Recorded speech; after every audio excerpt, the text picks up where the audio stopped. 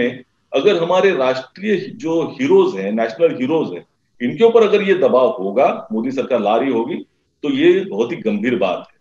और हमारी एक ज़िम्मेदारी है सर, ये राज्य सरकार के माध्यम से कि इनको संरक्षण दिया जाए। इसका कारण है, मैं कुछ आपको वापस एक बार मैं दोहराना चाहूँगा कि कुछ ऐसे ट्वीट्स हैं जिसमें ये सभी सेलिब्रिटीज ने किए हुए, जिसमें कुछ शब्द कॉमन है। जैसे एक एमिकेबल नाम का शब्द जो है तो इन सभी के ट्वीट्स में आपको कॉमन दिखाई देता है। ये आपको दिखाई देगा, विराट कोहली हो, सुरेश रैना हो, साइना नेहवाल हो, अक्षय कुमार हो ये अनिल कुंबले जी हो, लता मंगेशकर जी, भारत रत्न हमारी हो। उनके भी एमिकेबल ये शब्द उसमें आया हुआ है। दूसरी ओर, इसके साथ में एक स्क्रिप्टेड कुछ दिया गया था भारतीय जनता पार्टी की तरफ़ से और दबाव में। यही इससे निष्कर्ष निकाला जा सकता है। और सबसे दो गंभीर बातें जो सामने आई है, उसमें एक है कि अक्षय कुमार और साइना नेहवाल, ये साइना नेहवाल हमारी स्पोर्ट्स स्टार है। और बहुत बड़ी स्पोर्ट्स स्टार है, हमारे आदर्श है हमारी युवा पीढ़ी के लिए। अक्षय कुमार जी बॉलीवुड के बड़े स्टार हैं। इनका ट्वीट तो एक ही ट्वीट है, जैसे कि वो एक सयामी जो ट्विंस रहते हैं, वो करते हैं। इस तरह का ट्वीट है कि शब्द से शब्द मिल, मिलकर, मिल, उसका मेल खाता है।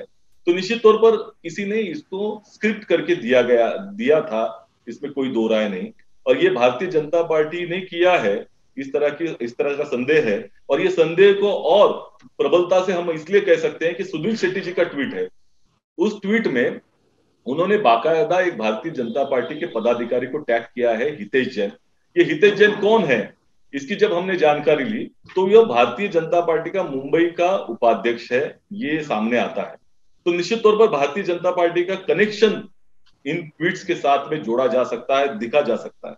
तो हमारी अपेक्षा सरकार से यह है कि निश्चित तौर पर क्या हमारे नेशनल हीरोज को दबाव के तहत ये ट्वीट करवाया गया है? निश्चित तौर पर यह दिखाई देता है कि आप बॉलीवुड में जिस तरह से जो ईडी हो एनसीबी हो, इनका दबाव तैयार किया गया है, बहुत सारे लोगों को ड्रग एंगल में जोड़ने की, कोशिश की गई है। दूसरी ओर उत्तर प्रदेश सरकार जो है नया बॉलीवुड का एक एक विकल्प तैयार करने की कोशिश कर रही है और बॉलीवुड को कमज़ोर करने की कोशिश कर रही है।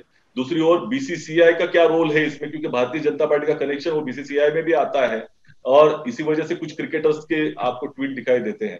तो ये इसके जड़ तक जाने की आवश्यकता है। और आपका जो ऑब्जेक्शन इसके बारे में है, ये ऑब्जेक्शन देखने के बारे में ये लगता है कि खैर, ये अपनी टीम की तो खुद की सोच है। उनको सभी जो सेलिब्रिटी उनको अच्छी तरीके से जाना लेकिन जिस प्रकार से टाइमिंग जो है, और इस प्रकार से किसी दबाव के कारण ये सब ट्वीट आई है क्या? इस प्रकार का आपका जो सवाल है, उसमें से कुछ बातें जो आपने यहाँ पे बताई है, खास करके साइना नेहवाल और अक्षय कुमार की ट्वीट जो एकदम सिमिलर ट्वीट है। इस प्रकार की ट्वीट उसमें कोई एक ल, एक लव भी इधर सिमिलर नहीं है। तो इस प्रकार से कुछ इनको ऐसी प्रकार की ट्वीट एक ही टाइम सबको करने के लिए मजबूर किया गया क्या? इस प्रकार का आपका ये सवाल दिखता है। और इसमें मैं समझता हूँ कि अभी तक आपने जो देखा होगा कि अभी मीडिया इलेक्ट्रॉनिक मीडिया हो या प्रिंट मीडिया हो उनके ऊपर भी किस प्रकार का दबाव है? कोई राजनेता कोई पॉलिटिकल पार्टी का खुलेआम भारतीय जनता पार्टी के खिलाफ भी कोई बयान देने जाता है तो उसको किस किस प्रकार ईडी और सीबीआई की धमकी दी जाती है, उसकी तरफ़ से कार्रवाई करने की शुरुआत हो जाती है। ये आपने अभी तक कई महीनों में सभी ने देखा है। तो इस प्रकार जो यहाँ पे हुआ है, ये सरासर मैं समझता हूँ कि आपका जो ऑब्जेक्शन में जहाँ तक मैं समझता हूँ इसके बारे में ज़रूर जाँच हम करेंगे। हमारी इंटेलिजेंस एजेंसी है। इसके बारे में पूरी जाँच करेंगे कि किस प्रकार से हुआ खास करके जो सुनील शेट्टी का जो ट्वीट है, उन्होंने जैन नाम के जो भारतीय जनता पार्टी का कार्यकर्ता है, उसको रिट्वीट किया।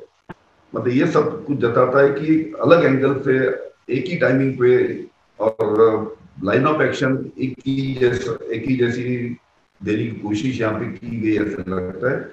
इसकी पूरी जाँच हमारी इंटेलिजेंस एजेंसी की तरफ़ से हम करेंगे।